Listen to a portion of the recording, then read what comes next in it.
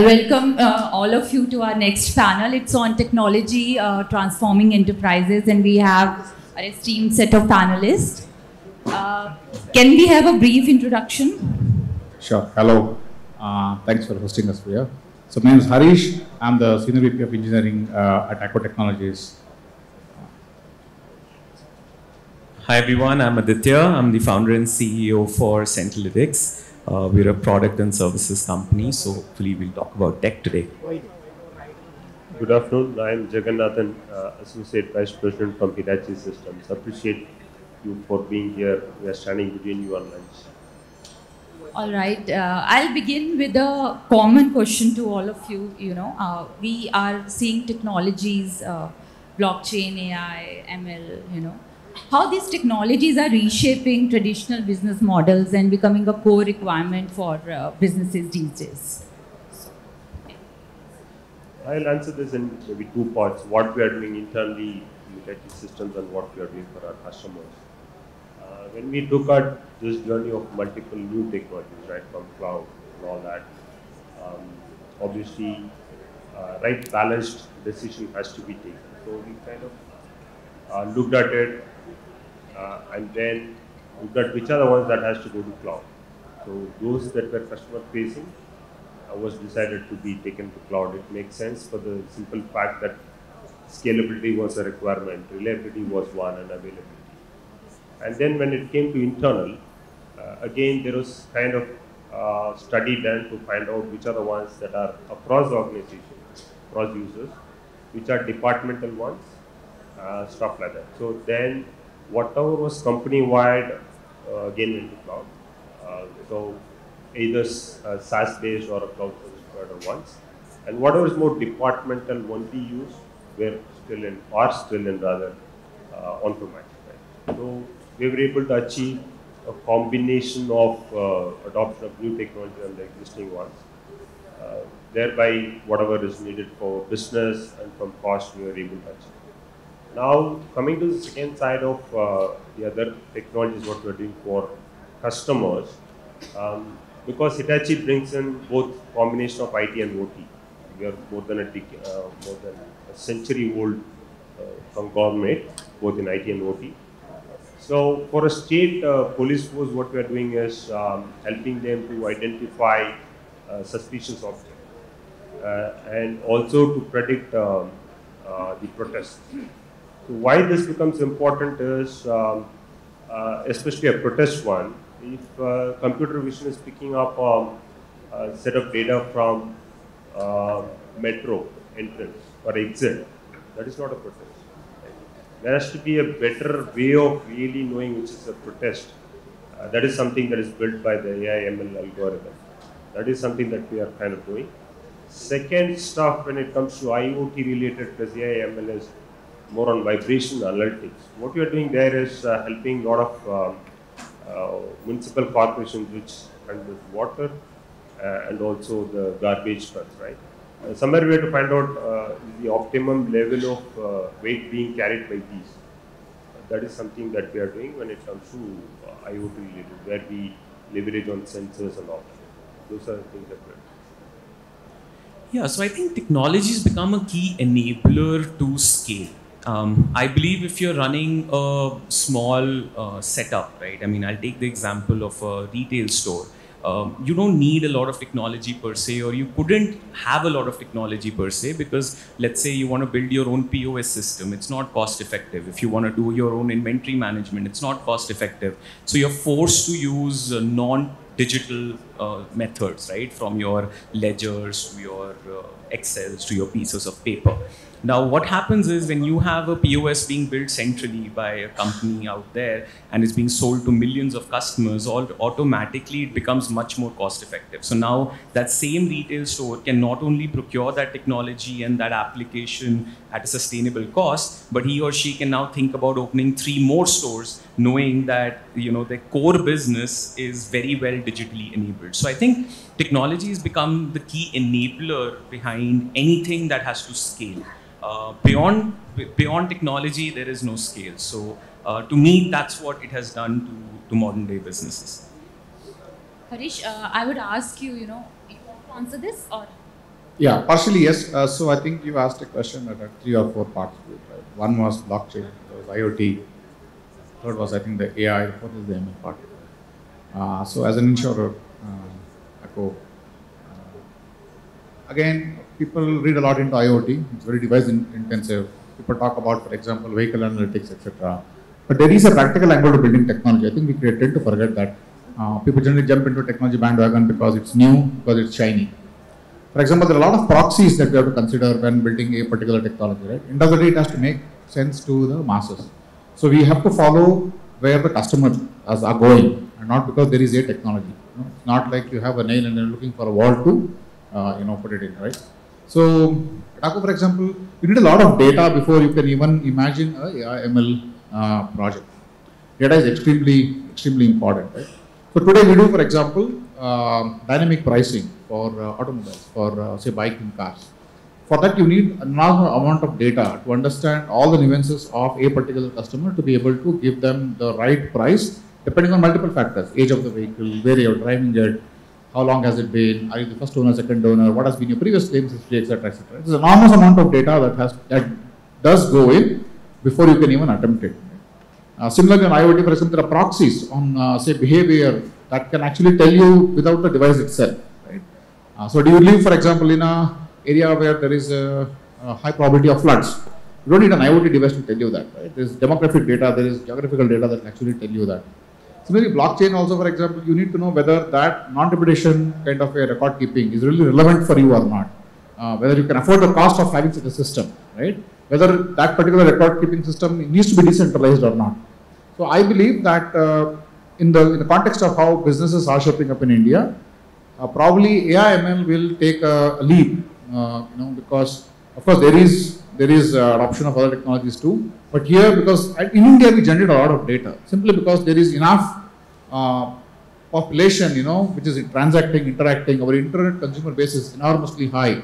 So I think companies will leverage, have to leverage uh, that amount of data. Of course, they need to do good by the customer, you know, and not use the data for what it is not intended to do. I think that that uh, that amount of responsibility has to be there in, a, in the companies when they collect that particular data.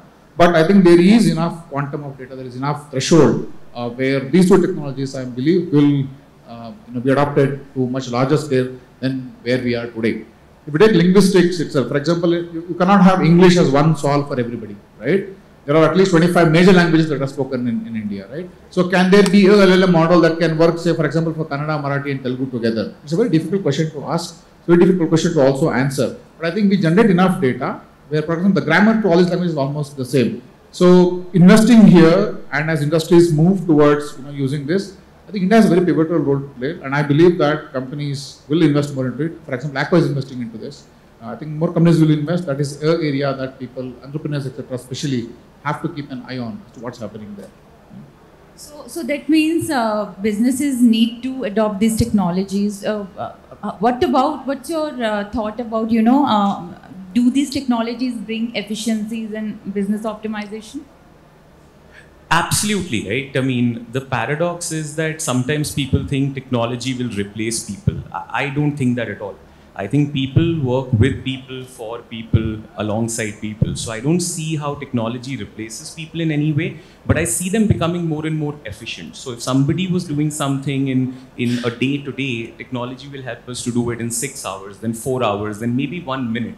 But that doesn't replace the people element at all. So it's all about efficiencies, optimization, specialization what technology will force us to do, it will force us to become experts in individual fields, right? It will force us to get very core domain oriented that this is what I know, this is what I do, and nobody does this better than I can, right? So that by default creates a lot of other challenges. How do companies, uh, you know, operationally hire roles that may not have, you know, that much capacity planning needed, or how do you mitigate the risk of uh, these technologies sort of becoming expensive or over going overboard as far as their usage is concerned? So there are other risks that come with it for sure, but at its core, all that any technology can do is bring efficiency it cannot actually replace the outcome.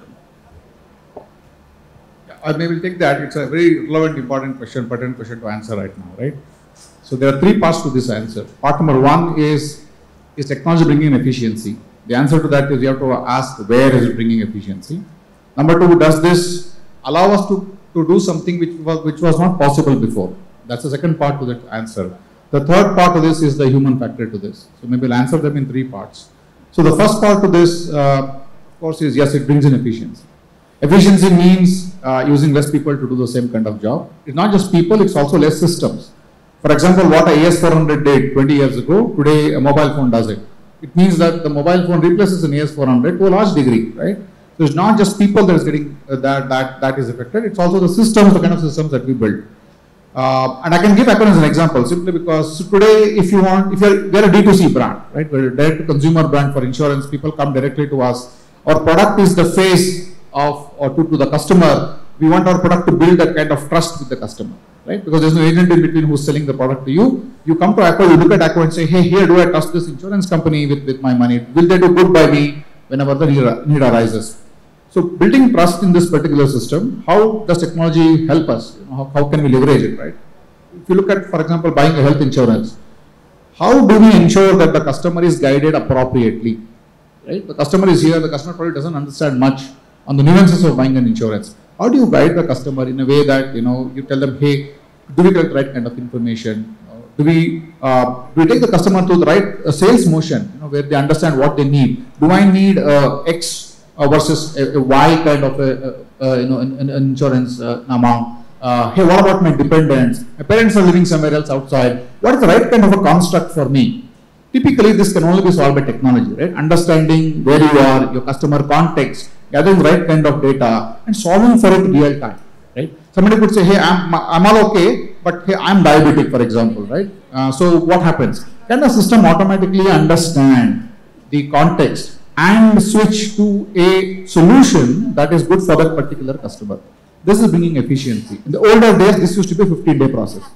You know, somebody applies, the clerk takes it, uh, does everything else, goes through some medical test, who, that is about another 10 days, comes back, looks at it and says, oh, this HbA1c, oh, this is very high, goes back again, reproposes the customer, customer comes back again. So this used to be a 15 day process.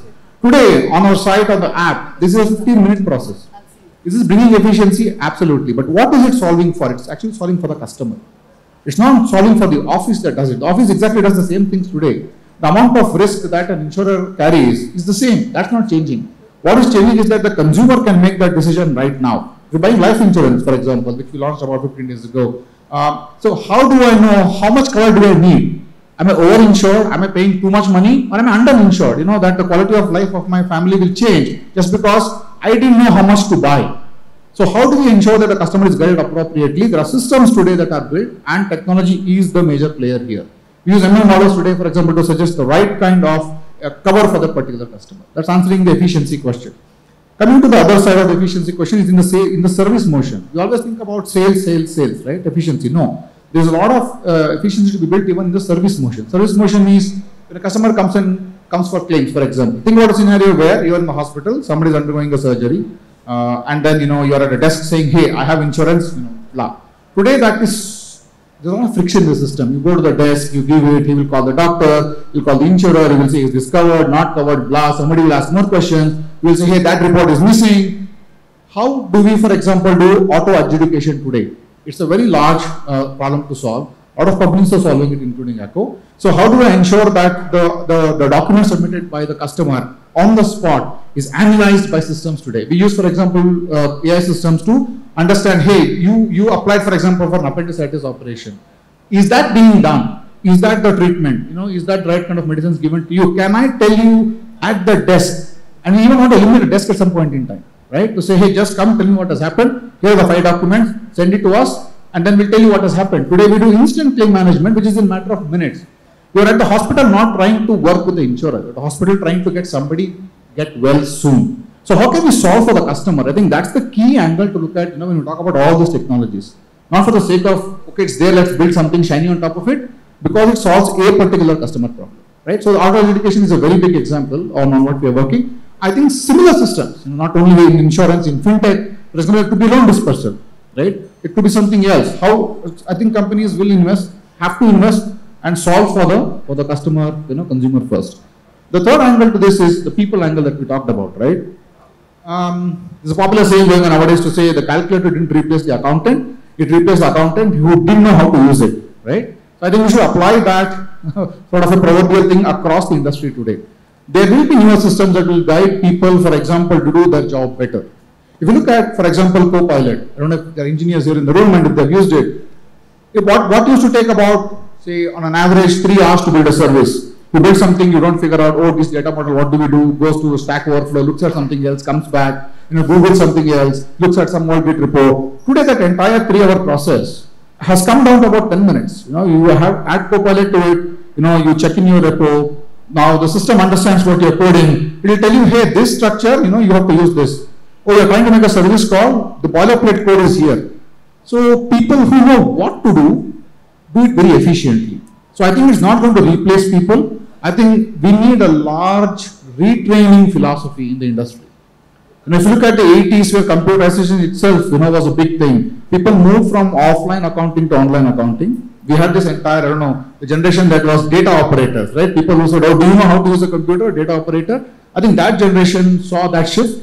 From there, then we moved to, for example, cloud, where people said, oh, I don't have an on-premise. How do I spin up, for example, something else? How do I talk to a Lambda on AWS, for example, right? That's the people shift. The third most important shift I think right now is going to happen is where tools technologies will get built on top of these very large and powerful you know, AI models.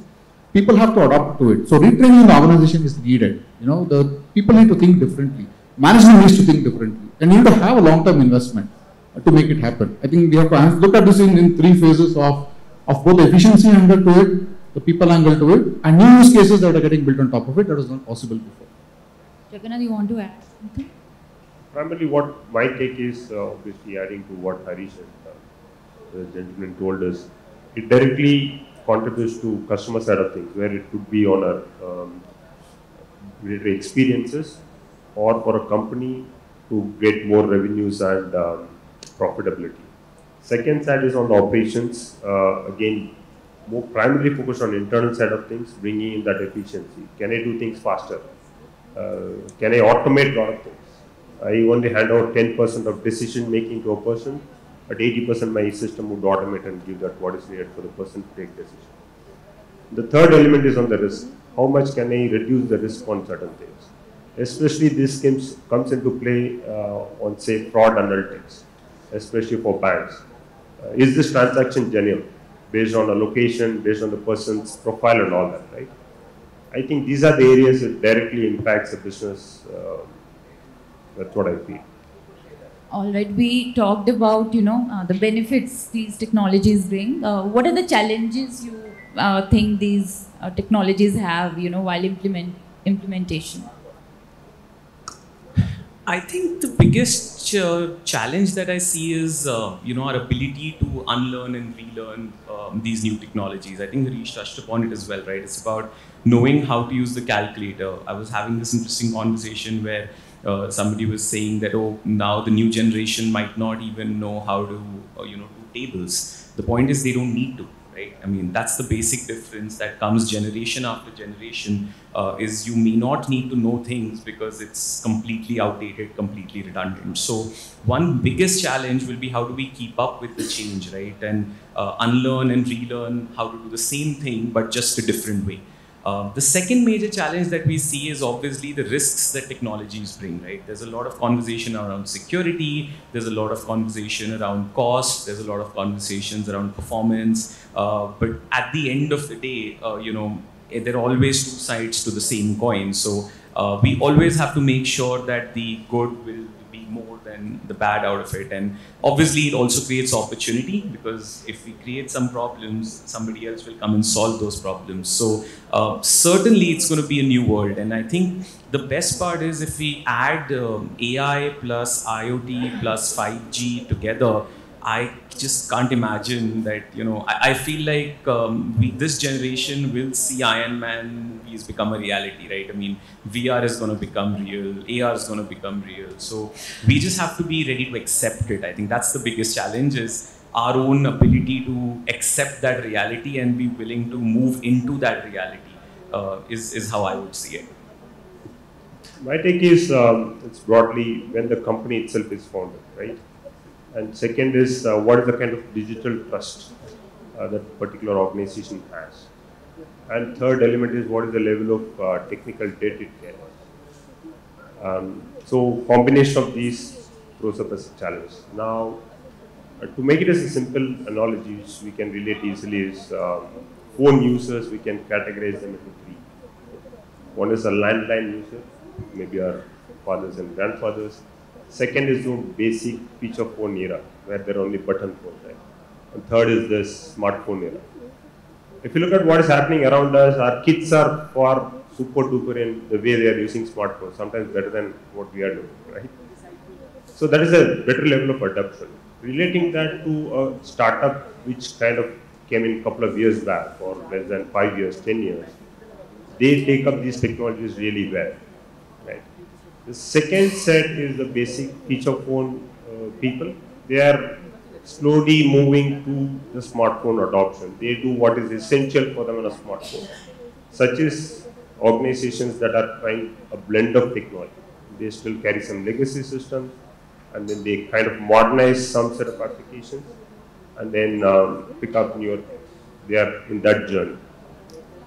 And the landline kind of a, a category people, there are still companies that are legacy system. they struggle because the technical debt is so high for them. They're struggling to move to the next levels. Uh, that would be a hard journey for them. But with the kind of um, uh, benefits that they see around, uh, they would take a, a, step forward somewhere, break the jinx and take the step forward. Yeah, I again, um, when we say challenges, uh, we should look at it as an opportunity. Of course, every opportunity has a challenge, right? You have to adapt to it. So there are, if you look at the entire industry, uh, there are companies that are well established. For them, it's a matter of lack of better word survival. Right? There are companies that are already there, not too old. Uh, for them, it's a matter of growth. And the third kind of companies are companies that have not been born yet, for, for whom it's an opportunity. So we should look at it, we should look at the challenge, if you look at it that way. I would use the word opportunity rather than challenge for all these three. For example, today, like I said, if you if you consider uh, a company that does not adopt to any of these technologies, only one or more of them, which is relevant to, the, to their particular industry, it becomes a matter of uh, survival for them, right? Um, let's say there's a like I don't know, there is a company that still does a lot of manual processing where you have to go to the customer, come to the customer, do it. Uh, they would find a lot of trouble, you know, keeping up with companies that don't do it. Like today, for example, people use eKYC. Like at Active, use eKYC, it gets done in less than a minute if you have the, the documents with you, right? Imagine that versus somebody who says, I'm going to send somebody home, then you have to call him up, then he will come, then get entry, then he comes in, blah. The entire motion around that is going to be so frictionful, right? So companies that have to look at transforming using this technology. It could be AI, it could be IoT, it could be whatever, right? Even cloud companies, a lot of companies are not even there yet, right? So for them, it's a generational shift. Uh, for, so for those companies, the challenges are going to be around how does their core business get protected by shifting to these technologies. They don't do it, it's a matter of survival for them. They will have to, however big or small the company is, they will end up, you know, they will have to do this. Today there are kiosks. I know there's one in Bangalore, one in Hyderabad also, where you could just walk into the kiosk, kiosk it by yourself. There is a prick that it does, and it gives you your health report in about half an hour. Imagine that versus a traditional, uh, say, diagnostic center. You have to go in the morning, fasting, sit there, you know, do something, then go back, eat your idli, come back, sit there again. Some doctor will come, whatever. It's a one-day process.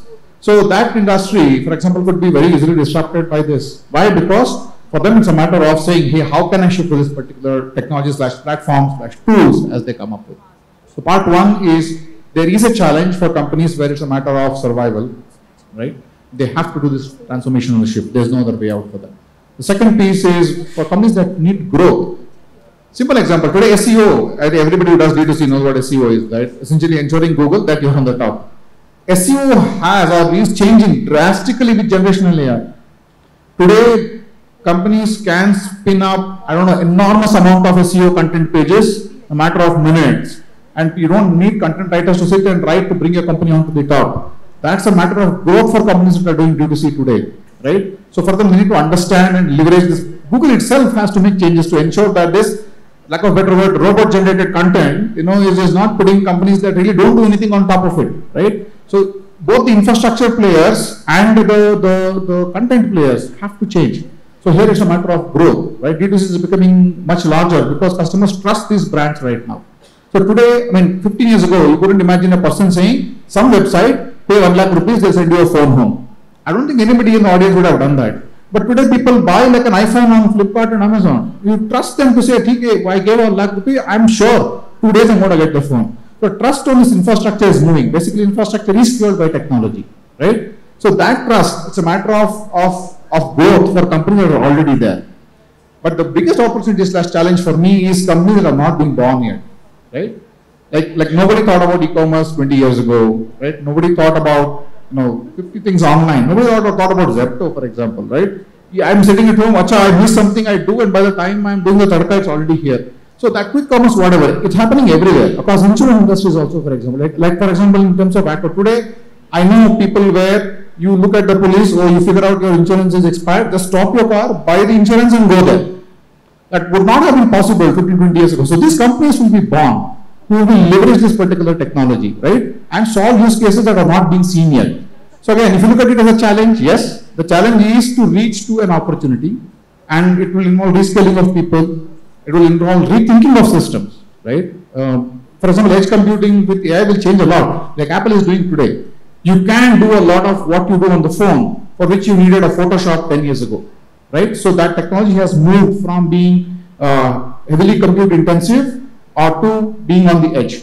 So that, that shift has happened, right? So I think we'll all sort of get there. So we need to look at the, the chasm, which is the challenge to get that particular opportunity.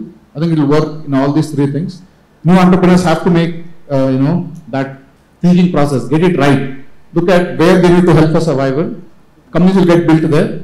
Uh, where they need to, for example, look at fueling growth and where, for example, to build something new that's not existing so far. All right, we are short of time, so we'll take uh, some questions, one or two uh, audience, uh, if there's any.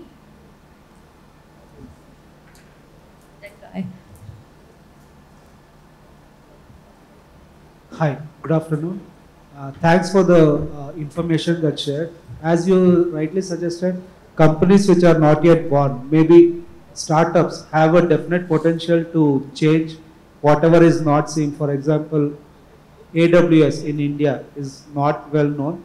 Also eKYC which Acko has bought. So I am also trying to do similar to eKYC where you flash your Aadhaar card using optical card reader you can easily uh, do your eKYC. Why there are so much uh, companies not coming forward to these kind of uh, technologies implemented as a startup? Any suggestions from your end how uh, we as startups can uh, think over these kind of innovative ideas? I don't know if the question is for me or.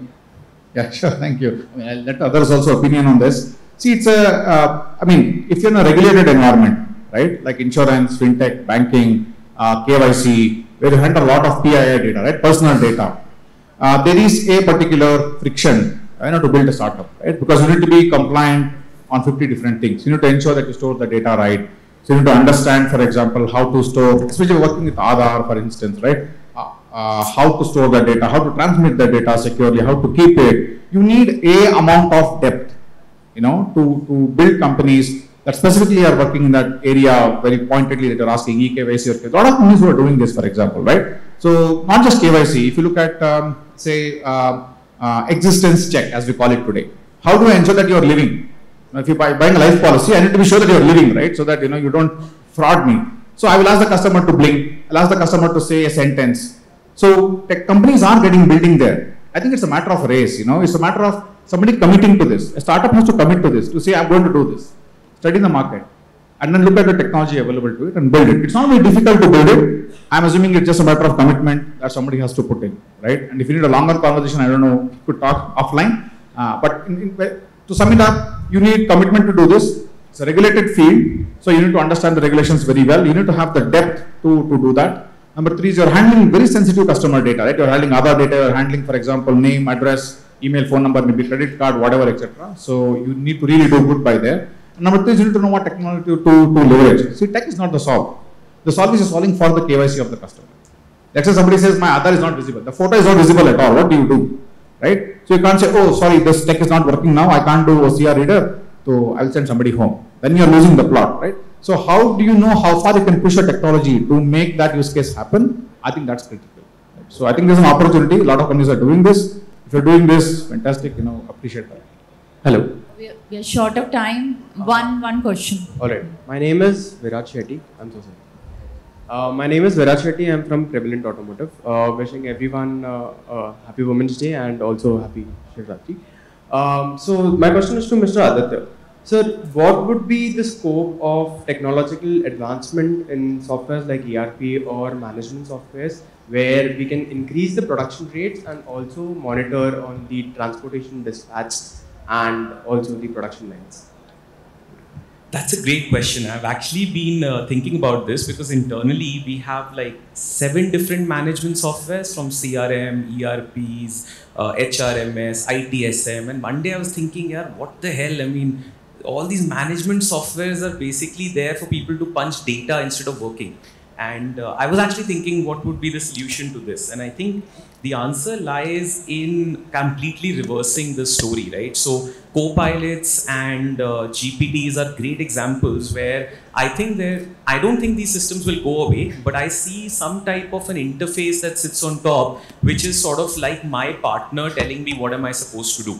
So imagine as a sales guy, instead of me punching in opportunities every day, uh, the system is prompting me that, hey, you're supposed to follow up with this customer, right? Imagine if I'm able to write my notes there and is recommending to me that why don't you go ahead and follow up with them on these days? I'll put an actionable for you on your calendar right so so i completely see these management systems completely transforming into partnerships in the process and i think that's a key area of opportunity that you'll see because if you look at these companies they're all really really in the legacy phase as uh, Harish mentioned. Now that can become an opportunity for them, and they are investing. Salesforce has put together a fantastic AI team. I know SAP is investing in that direction, but it also becomes an opportunity for the not yet born startups because if somebody can come and disrupt that space, completely pivot the way we work, right? Make it not a management system where I'm creating and punching data for my bosses to see, but more of an enablement system that actually lets me do my job